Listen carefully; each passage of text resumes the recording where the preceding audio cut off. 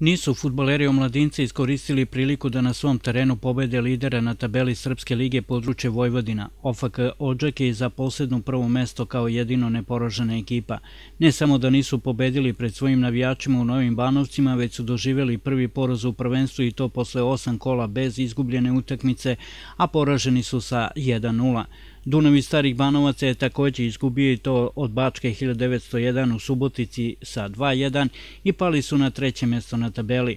Posle dva uzastopna poraza radnički iz Nove Pazove pogodkom Đurića savladao dolinu u Padini sa 1-0 i sa 14 bodova vratio se u gornji deo tabele.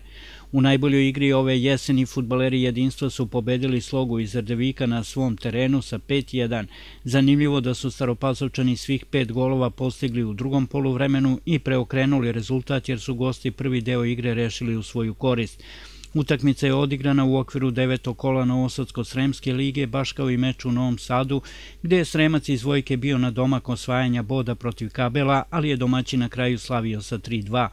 U devetom kolu Sremske lige nove pobede klubova iz Staropazovačke opštine Hajduk 1925 podunavac iz Belegiša je pobedio graničar u Adaševcima sa 3-1 i sačuvao lidersku poziciju sa 25 bodova.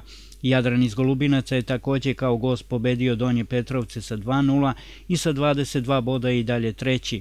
U sedmom kolu opštinske lige Stara Pazova Indije i Irig, futbaleri Borce i Surduka poraženi su od Fruškogorca u Krčedinu sa 3-0, dok je sloga iz Kanješavaca bila slobodna.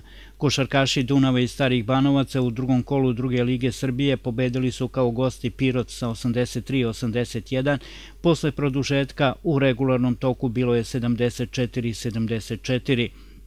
Košarkaši Stare Pazove u drugom kolu prve regionalne lige Grupa Sever pobedili su kod kuće Ođake sa 85-73. Odigrane su i utakmice prvog kola druge regionalne lige Grupa Jug. Vojka je pred svojim navijačima kao gost pobedila Pinki Šimanovaca sa 85-62. Omladinac je poražen u Novim Banovcima od Dinama iz Pančeva sa 83-67, dok je Jadran iz Golubinaca izgubio od Partizana u Šidu sa 78-68. Košarkašice Stare Pazove u drugom kolu druge lige Grupa Sever pobedile su Proletar u Novom Sadu sa 86-52. Rukometašice mladosti iz Nove Pazove su stigle do treće pobede u prvenstvu Super B lige, pošto su savladale radnički u Svilanjcu sa 30-20.